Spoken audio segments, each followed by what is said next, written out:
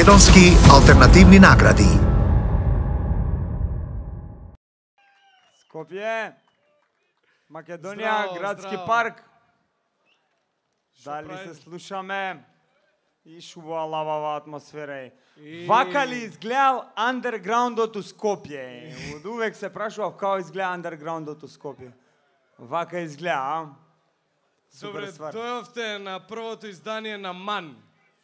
Македонски алтернативни награди. Наградите ќе бидат МАН, мали камиончиња. Луѓе, добре дојавте на МАН. Македонски алтернативни награди. МАН е единствената манифестација која ги наградува луѓето кои повеќе од 20 години ја градат вистинската култура во Македонија. Македонијо, добре дојдовте на МАН, Македонски алтернативни награди или златна буамара на популарноста за сиромашни. А, тоа смени еден спонтан аплауз за ова, а, ако имате срце да пуштите. Супер. Баш спонтан аплаузот. Фала. Значи вака, ова е манифестација за андерграундот у Скопје. Дешки вака, а, да бидеме реални сите ние овде. Фала Богу на некој после 20 години му текна да ги награди луѓето кои се вистинската култура во оваа земја. Немаме друга култура. Луѓето што ќе земат денес награди се вистинската култура во Македонија. Значи вака, а, ние за ова денеска што водиме или што пробуваме да водиме, не зијаме пари, затоа денеска идеме стрикно со ефтини фори. Така е. Значи стрикно ефтини фори. За парите што ние денес ги земавме, ќе не видите а, во едно необично и издание за нас, ќе бидеме многу официјални и ќе бидеме многу сериозни. Така е. Ова е манифестација која постои веќе 10 минути, а ја организира Блабла ТВ која постои повеќе од 5 месеци. Блабла ТВ е интернет ТВ која фура алтернативни стилови и цензурира политика и турбо фолк. Ова е за респект. Аплауз за Блабла ТВ! Дешки реално денес единствен начин да бидеш среќен е она, да игнорираш турбо фолк и политика. Валја така. А, денеска Блабла ТВ ќе додели повеќе од 30 награди, значи дури 34 награди на бендови, новинари, продуценти, музичари, радија и институции. На првото издание на МАН сите ќе добијат идентична награда, која ќе гласи вака: за особен придонес во развојот на македонската алтернативна музика. Аплауз за ова прво издание, луѓе, дечките што го организираат ова се за, за респект. Така и да не го тупиме, ајде да почнеме со првата награда, има 500 награди. А и реално немаме спремно смешки за денес, пошто малце пари Да. земавме, да. Пошто сме underground. да. Нормално, како што е ред да се отвори ваква манифестација за алтернативни награди, првата награда ја добива институција Владимир МКЦ, местото каде што свиреле сите од копилјаци преку 2000 концерти и дешавки на квалитетни македонски и странски уметници, актери и музичари.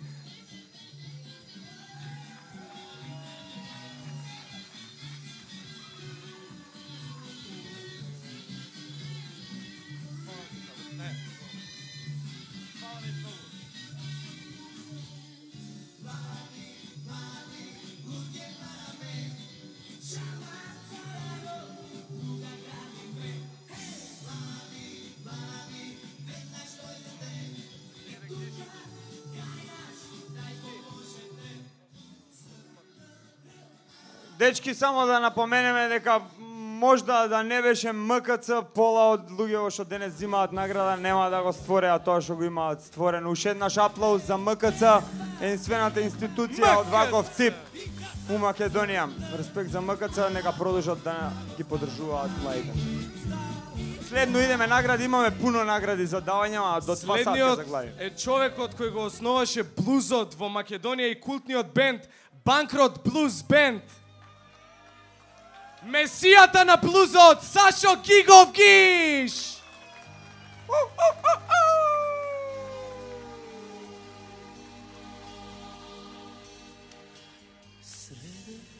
Алергичен сум на вакви титули, гуру, месија. Знаете како викаше Џон Ленон? Christ, you know that ain't easy. You know how hard this could be. Where things are going, They gonna crucify me. Неќе да ме разапнат затоа што ќе ги лажат после у моje име. Ќе ве поздравам со три збора од Џон Ленон, ќе им се заблагодарам на овие прекрасни луѓе овдека. Мислам, стварно ми значи ова што ме покани овдека. Џони Штулич вика за слободата, вика слободата е совршен склад во нескладот на несовршените луѓе. Ако се препознаете, добро, ако не, уште подобро. Живи и здрави да сте.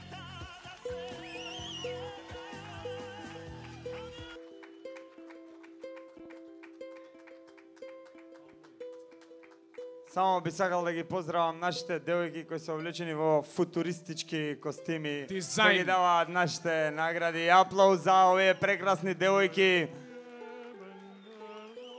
А, идеме дале со доделување на награда. награди, да, затоа што имаме милион награди да доделиме човекот кој ја зима следната награда е долгогодишен неуморен музички работник, па затоа зад неговото име често стои надимак. Има милион надимаци, сега ќе спомнеме дел од нив. Значи, надимакот Цилиндер, некогаш го викаат Архангел, некогаш Митан и најновото име Темпера, но цел град и држава најчесто му го става надимакот Тралала. Тоа е студиото Тралала каде што Мите твори веќе долги години и имал соработка со повеќе од 100 усвери што 100, со повеќе од 500 македонски и странски музичари, продуцира, издава, микса, мастерингува култни изданија кои сега ако почнам да кажам колку изданија има мастерингувано, ќе треба да останеме до 5 саат сабајле, па затоа можеме да речеме дека соработувал со 90% од музичарите и луѓето кои ќе земат денеска награда. Дешки, Мите, Димовски, тралала! ла.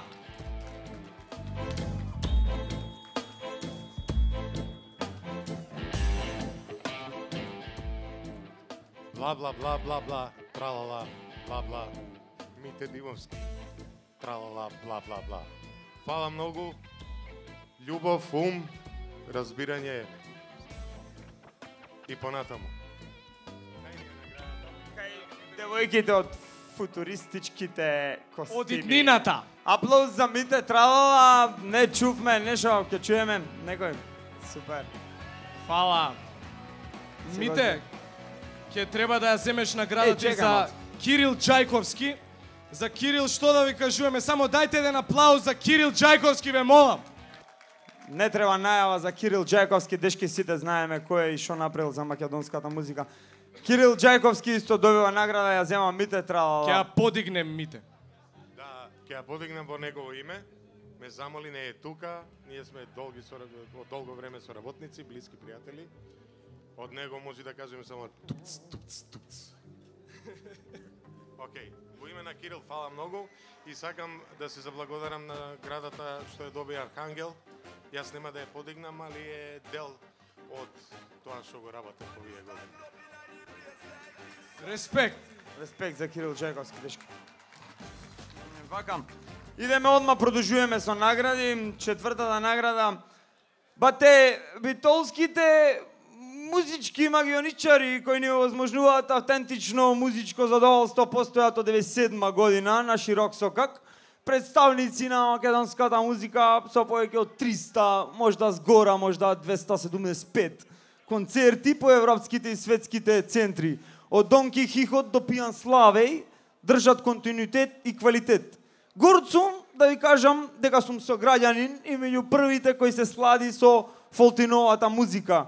Културно действуваат и во македонските и балкански театри и тие не би биле исти бате без фолтин. Што да речам само фолтин награда за алтернативна музичко достигнување. Бате, тука да ја прими наградата е Матуфо на Бране Братву. Што да ви речам, аплауз за Фолтин од Битова. Ако е тука, нека дојде да ја прими. Матуфо, ела на сцена ако си овде. Да ти дајме награда. Не, за джаве се трудев на битолски да зборам, добро, кај да е, ќе дојдем. Ние толку го тупиме сега за сега. Доста? После, сега музиче малце ја слушаме. Па ги покануваме на сцена Бета Хаус. Аплауз може да давате, нормално, 3-4 фала. песни, бате. Македонски алтернативни награди.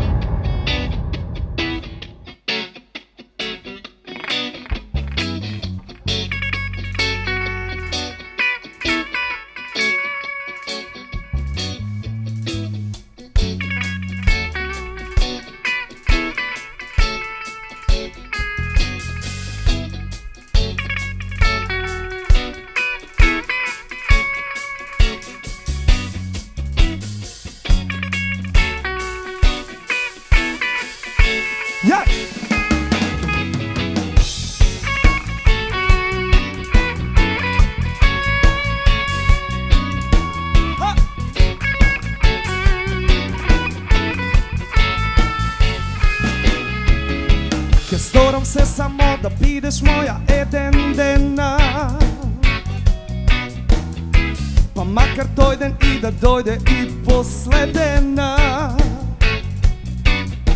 Пожар ке одам јас да бидам до тебе. Се што сакам да слушнам јас е сакане Ха! О, о, каков неприсест Јасна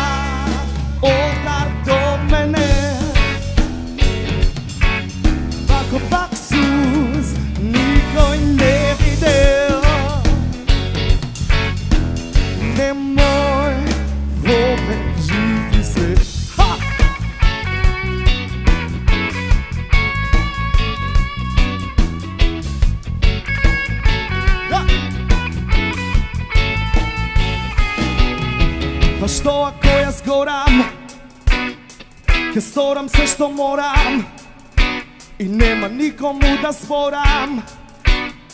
Za to kako moram Da se smejam ako moram Da se smenam ako moram Da se strpam ako moram I da te trpam ako moram. O, o, kakov ne prisest Ha! Ja олтар до тебе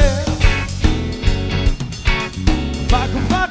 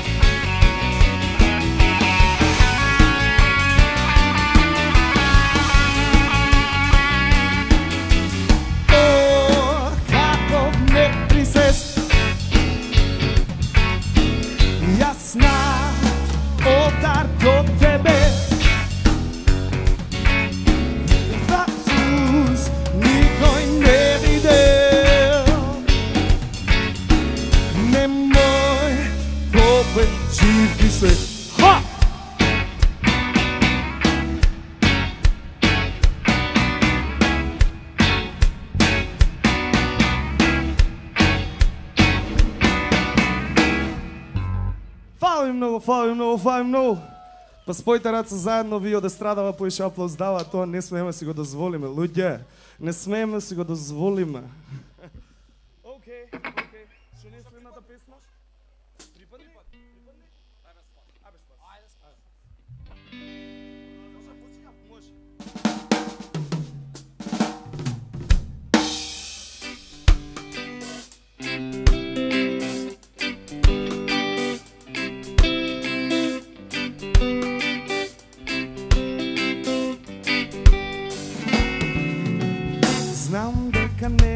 Тебе.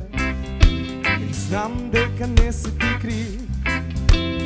Роден си во погрешно време И никој не знае дека си жив. Знам дека бараш ти значење Во секој нареден здив Роден си во време на плачење И никој не разбира дека си крив нема бокадата, ја нурнуваш главата И сака се да трае само ми. Горе на зградата, преку оградата Да слушна твојот последен, твојот последен.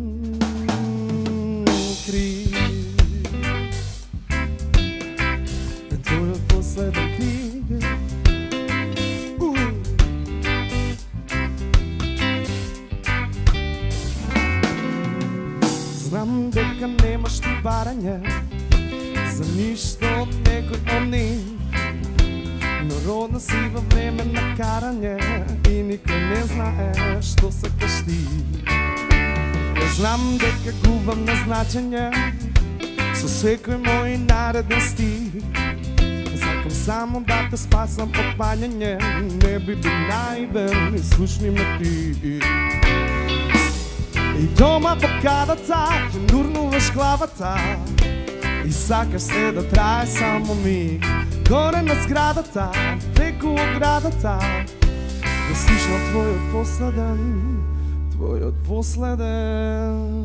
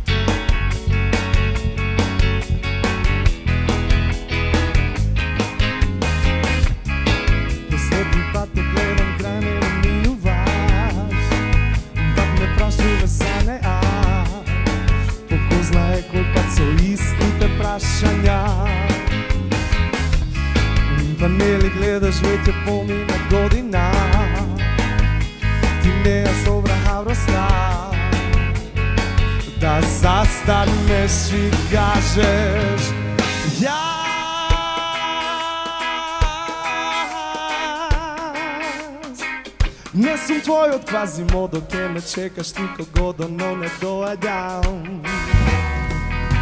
И знај,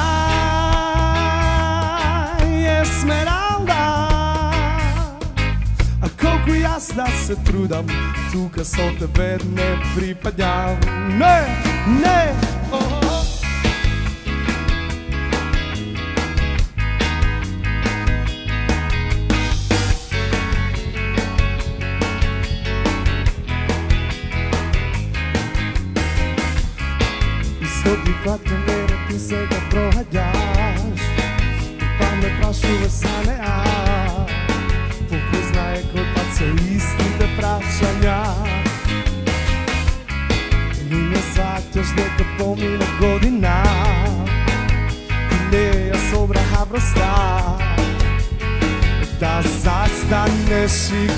promises. Јас,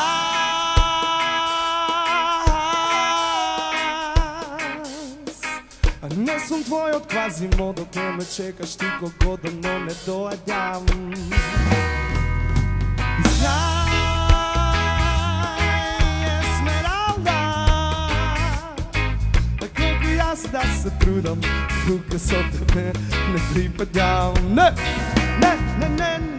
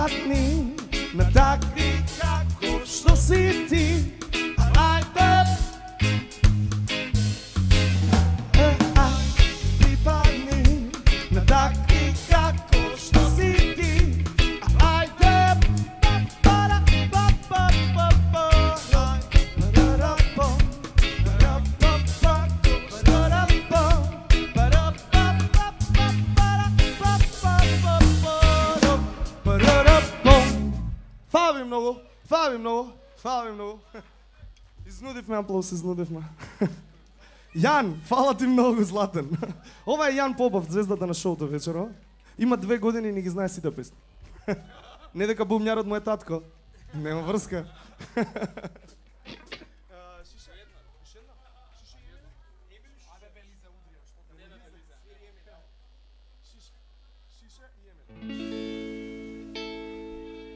Волку, волку, да не бе волку празен, ќе ги мразев сите, да петја с некој важена, ќе ги газев сите, да беше ноќта дена, ќе ги спијат дните, да не бе волку ладен, ќе мислев имам срце, да застанам на път, да речат сите прв е, секој од нив, го гревам ова шише,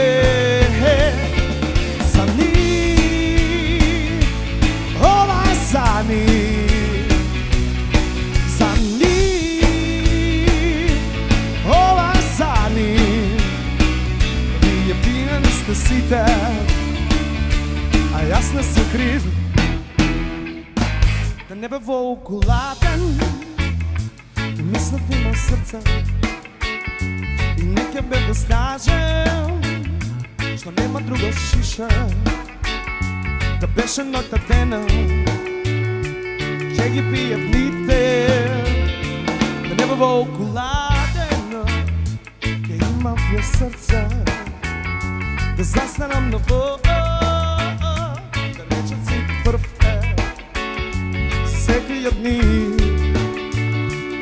Evo ova šiše Za njih Ova za njih. Za njih Ova za njih. Vi je pijeli ste site A ja sam su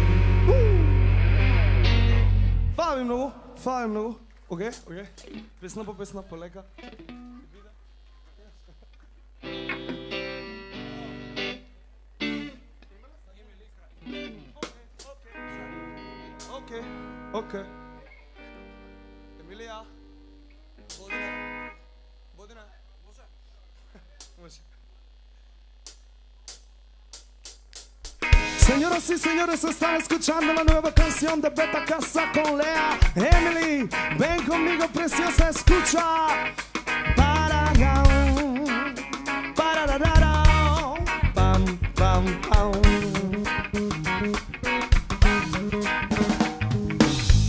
Нема никогаш да признаам дека јас сум тој што започна, па доживеам со вината. A ti si suet najdosana I da meni pideš fokusa Si ja baraš pravdata. Izvini što sam ovako dosana Za mlada načekam pod obsada Kova najma tu očekavaš Znam te mrazam, no te stakam Nešom čisto se lažam Dozvoli mi da te izberam. Pa, ra, ra, ra, ra, ra.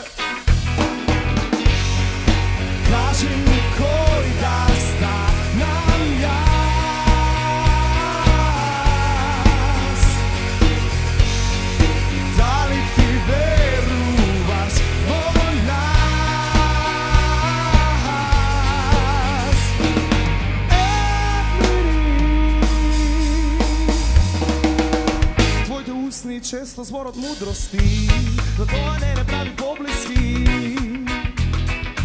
Емили Кој од нас ќе биде прв што ќе попушти Па ќе се фрлиме во преградки Уу!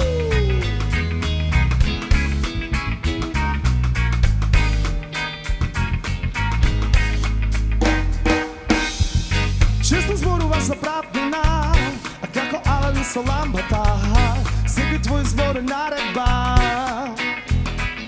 Ти си зеленот кој тресен глупо ми е и без везе Ти не ми даш да те изберам Ра, ба, барарам Што сум озбили бе? Кажи ми кој да станам јас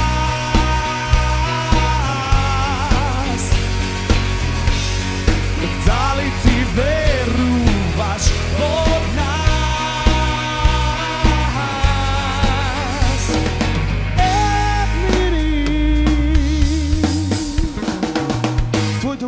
често зборот мудрости Но тоа не не прави поблиски Емили Кој од нас ќе биде прв што ќе попушти Па ќе се фрлиме во преградки Дами и господа, господа и дами, ќе ја молам за внимание. Може би за аплауз, не знам тоа како ќе биде. Океј, ова е МАН, Македонски алтернативни награди, прва едиција. Ние сме Бета Хаус. На бубњеви е Бодим Попов. Бодим Попов. Је, је, је, је. Је. Бас гитара Степан Стојчев. Је. Uh. На гитара Александър Алексов Балабанов. Јас сум Раде Кеновски, Фала ви многу луѓе, ние сме Бета Хаус. Поддржувајте оваа ствар и пејте со нас. Иде вака. Океј. Ти ќе бидеш моја кога лисјата така ќе смена боја. Емили, Емили. Ти ќе бидеш моја кога лисјата така ќе смена боја. Емили, Емили. Ти ќе бидеш моја кога лисјата така ќе смена боја. Емили, Емили. Ти ќе бидеш моја кога лисјата ќе смена боја. Емили, Емили. Ти ќе бидеш моја кога лисјата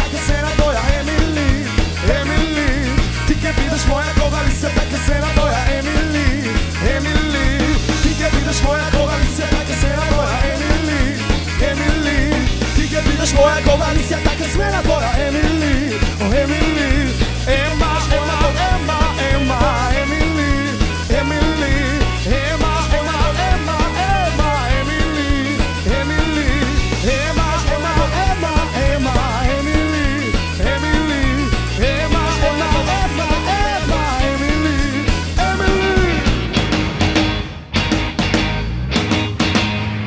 Фала ви многу се гледаме. Чао, чао.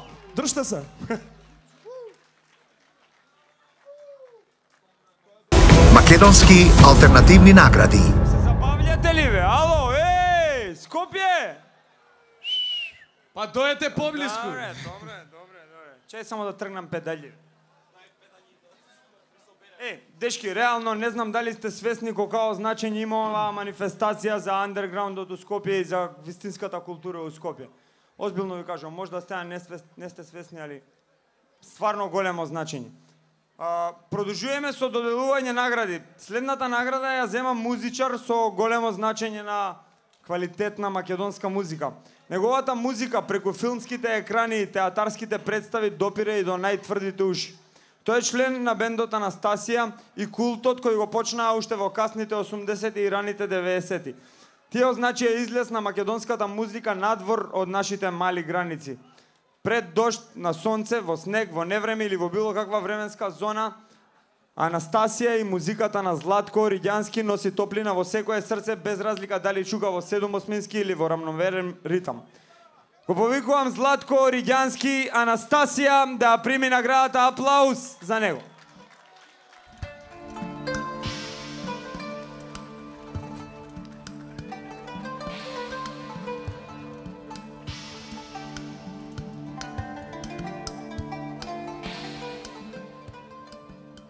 Сакал да се заблагодарам на честа, на вниманието од децава, од сите вас, од името на Зоран Спасовски, Горан Трајковски и од моје лично име.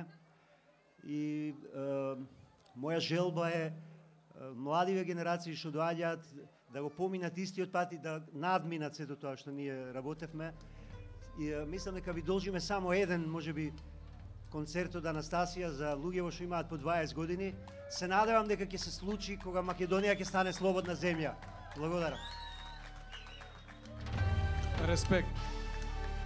Вика кога Сецко и екипата почнаа да свират, нени насетуваа дека ќе станат еден од најпочитуваните македонски бендови. Во 2005 го издаваат својот прв албум насловен Мугер Фугер и во 2006 го издаваат вториот Мугер Фугер 2. Сега имаат 8 албуми. Наградата ќе ја прими Сеат Хаджич. Сецко аплауз ве молам!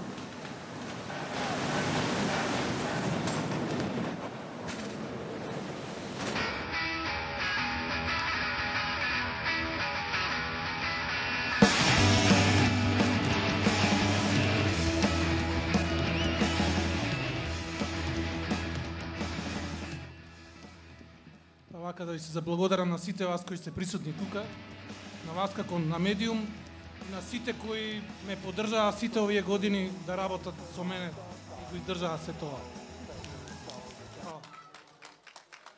Фугер. Вака, Дојете поблиску, бе.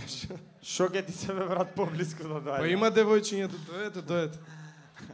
Вака, ние ова најавиве ги читаме пошто сме тотално неспремни. Не, не, тотално сме underground, ако што и да значи тоа.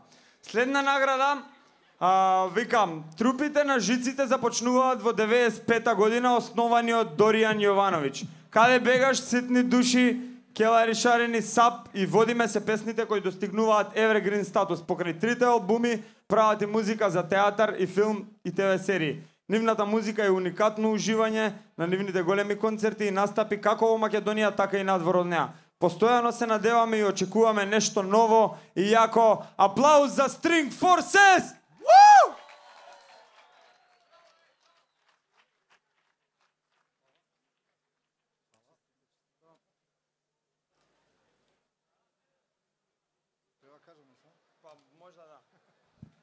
Во име на сите сегашни, бивши и идни String Forces членови, фала. String Force.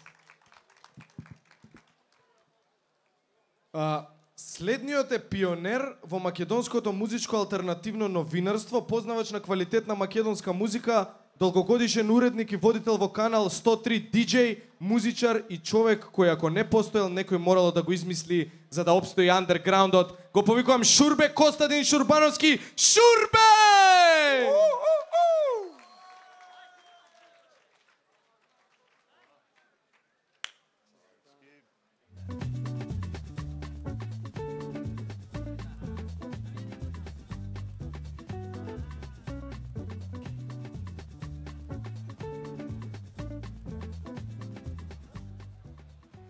Секој оној што ќе каже дека признанијата и наградите ништо не му значат, едноставно лаже. Многу ви благодарам, многу ми значи. То е то. Поло од бендовиве која се оформиле, ја упелени сум бил, свака час. Идеме дале, многу ми е кеф што јас баш го најавам овој бенд. Тоа се а, ska punk бенд со реге латино и балкански фолк влијанија, формирани уште во 1994 година.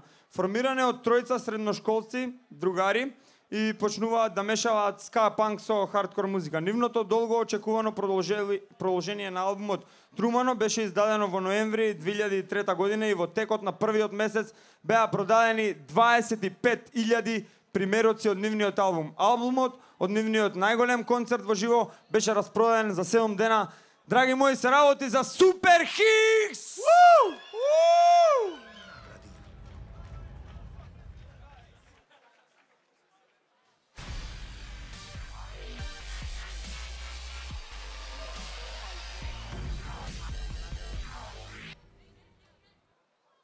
Епа пред се сакаме да се извиниме, да се извиниме од име на целиот бенд што не може сите да бидат тука, ама ние како најнови членови, најмали у години, најголеми у обем, дојдовме да земеме наградата. И сега Да, работи овој, точно. Сакаме и да ве поканиме на 10 јуни во летниот клуб Кавана, ќе се дешава концерт за оптимисти. И уште еднаш благодарност до Блабла за подвигов, евентов и манифестацијава. Поздрав, Хикси! Супер Хикс. Дешки. Легендиве следни се оформиле во 84-та година. На почетокот си свиреле лабаво по гаражи, имаат хитови како Шефе, Келјав Дабар и да ги поздравиме Енко, Диме, Сецко, Владко, Кире, а подоцна во бендот се приклучува и Ади. Првиот сингл го имаат издадено 25 мај 85-та. Last Expedition!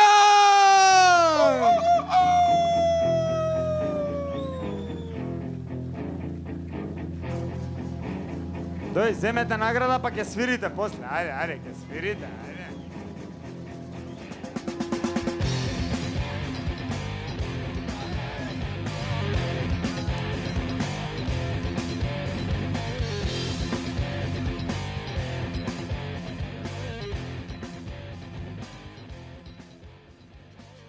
Многу сме возбудени.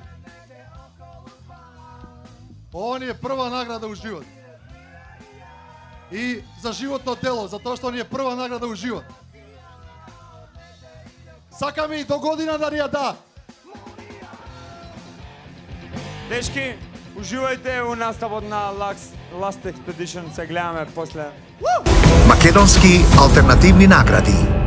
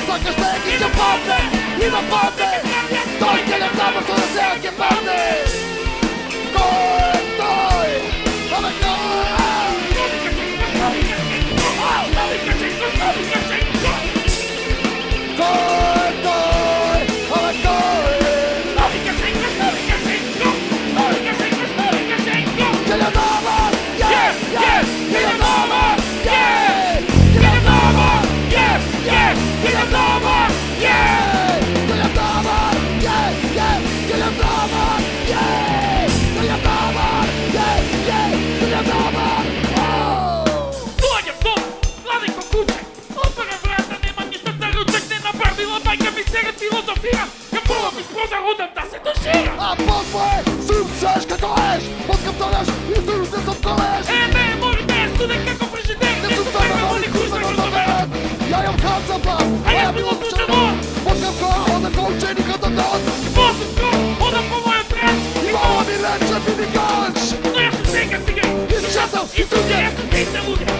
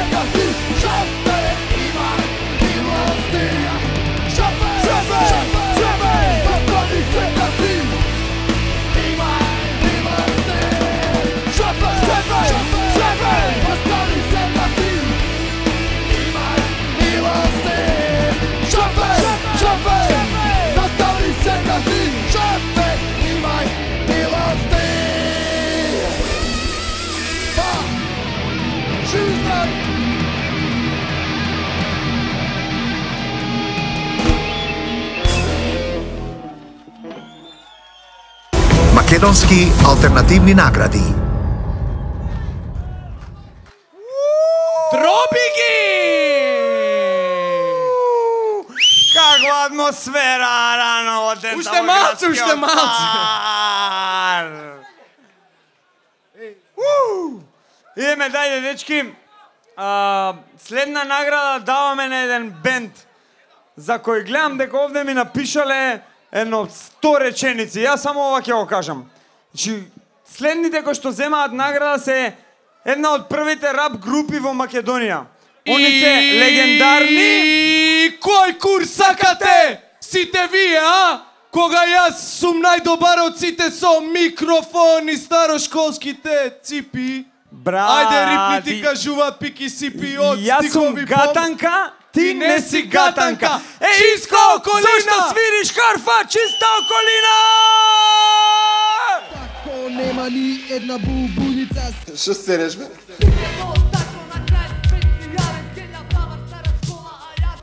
Спикер тако е човекот.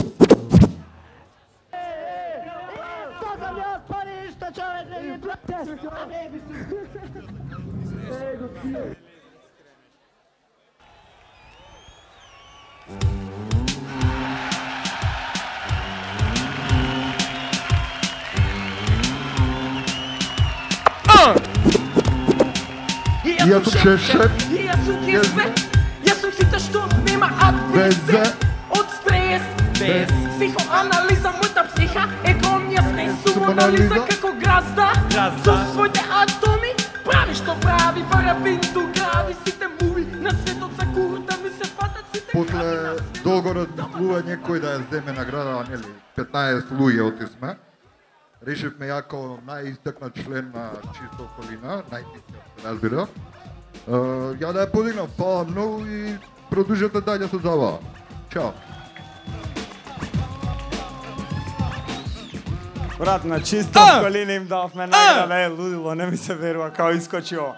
Следно, идеме. А, Дешки, следна награда е на едно радио. Валјда единственото радио кој што ние го имаме, тоа е 103 што е синоним за алтернативна музика. Формирано е негде 1991 година.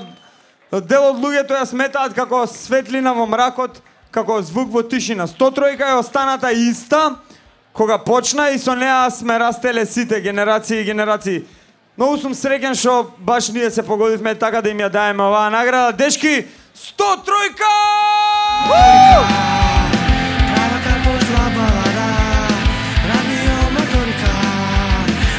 Шурбе да се ја земе наградата! Radio Motorika, Ljubljana.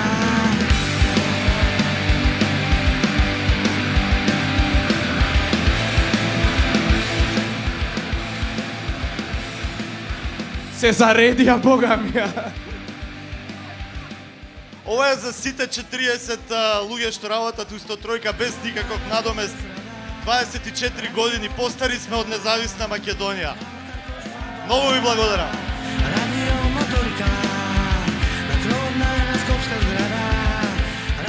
Ова што свири вајда е ха-ха. Респект за ха-ха-ха. Бенд. Идеме далje. А, следното е награда за Архангела, македонски алтернативен рок бе... Што да ви кажем за Архангел, бе, луѓе? Ристо Вртев, ама не те најдов не е тука, наградата ќе ја ставиме во музеј. Музејот што ќе го отвори Блабла ТВ. Ќе дојде некој да подигне наградата за Архангел? Ристо Вртев. Бра, ама не, немаше да биде јако ако Ристо Вртев ја подигне награда. Е, болje е да не го не. Ако некој од тука присутните му знае телефон или каде живее, нема да ја ставиме у музеј, ќе му ја даеме. Нека ги најде луѓето од организација, му вртеше, него најде. И ја му вртев, него најде. Дајте ја наградата, ја ќе ја земам, ќе ја чувам. Аплауз за Архангел! Архангел, дешки, не се заебај.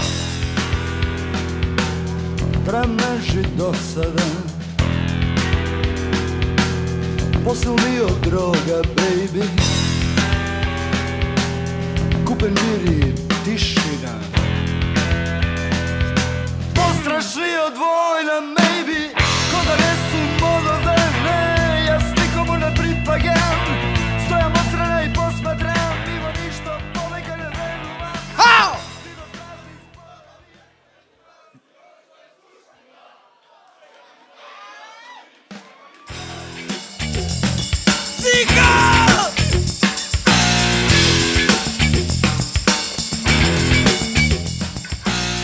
Ideme dalje. Ljudite od teto!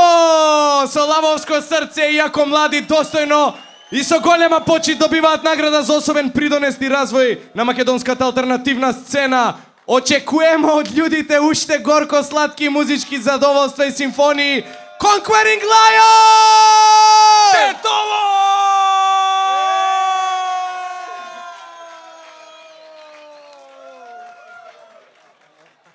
Здраво, добри луѓи, Една љубов до свите. Многу ме радуе што на ваква манифестација сме огромен број, отворени, среќни, задоволни и слободни пред све. Мислимо добро од срце и од душа. Фала за ман за наградата, многу ни значи у цело, цело ова патешествие наше, што нема да заврши никад. Се додека има уште многу добри луѓи као вас. Ќе ве почастимо покасно со джем сесија, пошто не смо денеска у цел состав. А, дел од нас мораше да заврша некој работе и ете, делумно, ама ќе почастимо со една добра регија атмосфера и воедно да го најавимо концертот на 7 јуни здраво млади пред Макаца. Кој како е расположен е добре дојден. Дешки ќе ги чуеме покасно. Се соберат у голем број од Тетово гужва да стигнат со автобуси, со Патарини, чуда, она, да. Идеме далje со доделување награди. Следната награда е за Ептен, еминентен македонски музичар кој е меѓународно познат и е фронтмен на бендот Анастасија. Тој ја започна својата музичка кариера како член на панк рок бендот а, Афективен набој од Струга и откако се пресели во Скопје тој се приклучил на пак бендот Сарачени. Посна работел како вокалист на влијателната група Падот на Византија. По повторно обединување на култниот македонски бенд во 2000 во 2000 година Горан Трајковски стана својот нов фронтмен. Тој е исто така вклучен и во соло проекти, на пример како автор на електронска музика под псевдонимот Готра, како и композитор на филмска и театарска музика. Ја како глумец можам да ви кажам дека Горан Трајковски у театар прави една едни од најболите музики и атмосфери у театар. Ве молам голем аплауз за Горан Трајковски Готра! Готра! И таа иде у музеј. Не, не, не. Ќе дојде, ако сакате ќе го извадиме после па да покажете нешто, не беше туку моментов. Луѓе, ние сме underground. Овде сценарио не важи. До сега пет пати го сменивте. Уште еден аплауз за сите великани на македонската музика да ве чујам. Следната награда е за продукција. Компанија која главно се занимава со менаџирање уметници, резервации, концертна промоција и управување со настани. Тимот има долгогодишно музичко бизнис искуство на територијата на Македонија и екс Југославија. Се започна како издавачка куќа во 90-тите, познат како турбулентен и многу тежок период на Балканот. Да ги поздравиме Логин Пасворд продукција! Логин! Тоа е тоа, брат, никој не е тука да земе награда. Алтернатива е. Лудило, да, ако се појави него ќе го викнеме. А, следно, идеме вака. Еве го! Чекај, еве го! Еве ги, еве Стигна ги! Лина, пасворд продукција!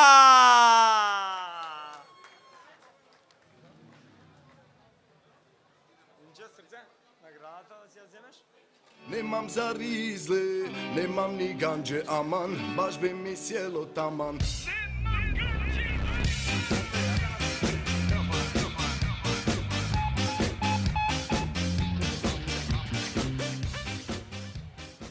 Браво. Фала од името на Лугин, кој што не е тука. И морам да ги спомнам а, Даре, Дејан, Раде, Васил, а, Дени, Грга, Васко, Дона, Анастасија, Цвета, Катерина, Анета, Симон, Илија, Филип, Адо, себе си и сите останати поддржувачи, пријатели и непријатели на Логин, без кои што он се уште ќе беше само карираниот од аеродром. Фала.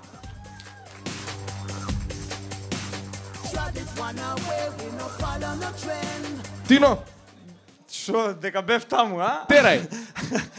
Вака ми рекоа, викам што е следно, викаат збори малку. Ако зборам, ќе си отидеме сите, без везе, скроз. Нема везе, дечки, диджеј, дај некоја музика, пауза, 5-10 минути додека се склопиме, што е, како е. Шанко, ви имате сендвич. Рокај музика некоја, диджеј, дечки, продолжуваме Ман прво издание. Македонски алтернативни награди.